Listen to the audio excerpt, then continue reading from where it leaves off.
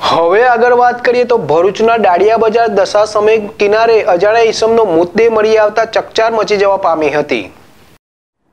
ભરૂચના દાંડિયા બજાર દશાશ્મેઘ કિનારે પાણીમાં તરતી હાલતમાં એક અજાણ્યા પુરુષનો ડિકમ્પોઝ હાલતમાં મૃતદેહ મળી આવતા ચકચાર મચી જવા પામી હતી.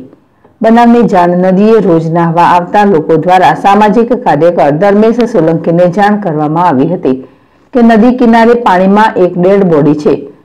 ધર્મેશ સોલંકી અને તેઓની ટીમ સ્થળ પર પહોંચી જતા નદીમાં તરતી હાલતમાં એક અજાણ્યા પુરુષનો ડિંગપોજ હાલતમાં મૃતદેહ જોવાતા પ્રથમ અંકલેશ્વર સિટી પોલીસ મથકની હદ હોય અંકલેશ્વર સિટી પોલીસ મથકે જાણ કરી હતી.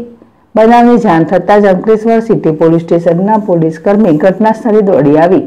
મૃતદેહ પાણીમાંથી બહાર કાઢાવી મૃતદેહને પીએમ અર્થે ભરૂચ સિવિલ હોસ્પિટલ ખાતે ખસેડવામાં આવ્યો હતો અને આગળની કાર્યવાહી હાથ ધરવામાં આવી છે. છેલ્લા ત્રણ દિવસમાં આ બીજો બનાવ છે.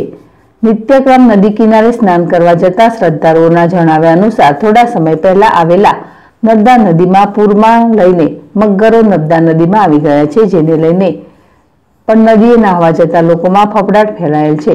નદી કિનારે મગર છે જેવા બોર્ડ મારવા જોઈએ અને આ મગરો માટે પાંજરા મૂકી સુરક્ષિત જગ્યાએ છોડી આવવા જોઈએ એવી તાકીદે માંગ ઉઠી રહી છે. યાકુબ પટેલ જેડેશ ટીવી, ભરૂચ.